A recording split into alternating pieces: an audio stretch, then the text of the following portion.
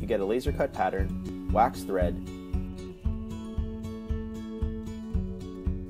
two needles, and a paper clip. This is a blunt stitching needle. They're not as sharp as regular needles. Pass one end of the wax thread through the eye of the needle.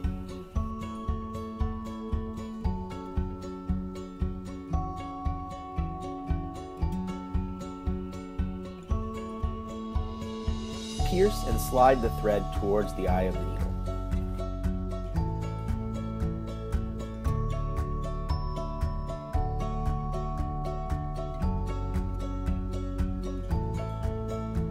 Pull the end of the thread tight.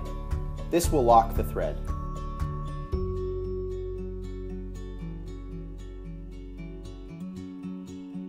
Repeat for the other end. Take the paper clip and open it up into a U shape.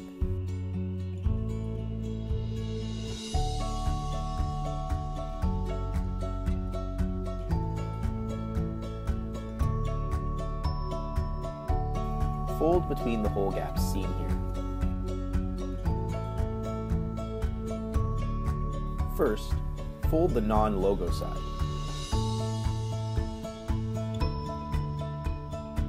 Then, fold the logo side, so the logos are facing up. Push the paper clip through the last two holes in the wallet. This will go through all three layers. You can hold the wallet between your knees, in your hands, or use a stack of books to hold up the wallet. Pass the needle through all three layers of the first hole. Make the thread even before continuing. Pass the needle through all three layers of the next hole. Always start each hole from front to back.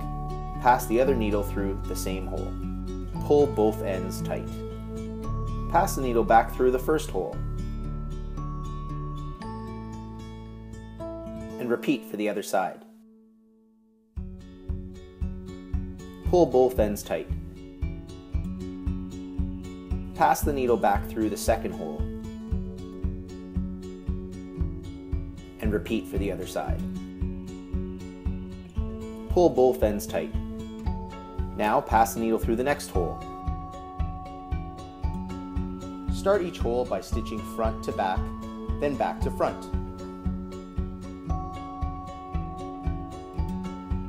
Continue stitching through each hole consecutively.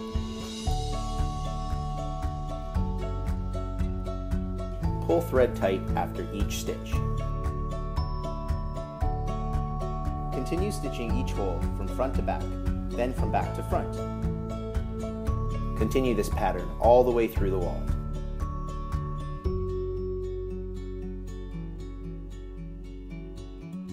Keep sewing in the same pattern until you get to the last two holes.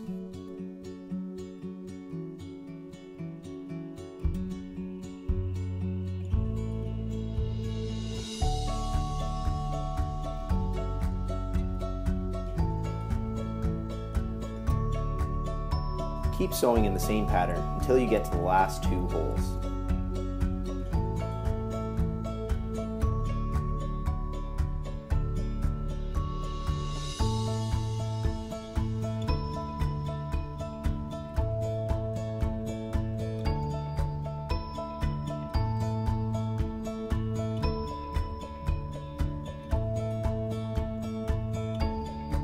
Keep stitching until you get to the last two holes.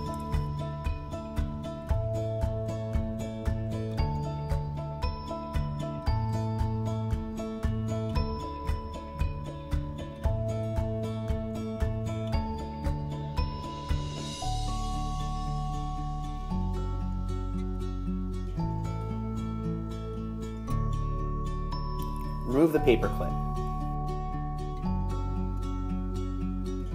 Stitch the last two holes the same way you have throughout the wallet.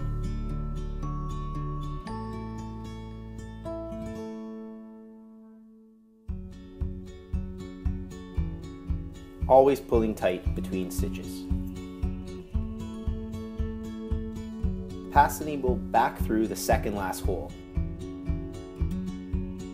Don't pull tight this time. Leave a loop of thread. Pass the other needle through the second last hole and pass it through the loop, creating a locking stitch. Pull both ends nice and tight. Now, pass the other needle through the last hole. Don't pull it too tight, leave a loop of thread. Pass the other needle back through the last hole and pass it through that loop again, creating a second lock stitch. Pull both ends nice and tight. Cut off the extra thread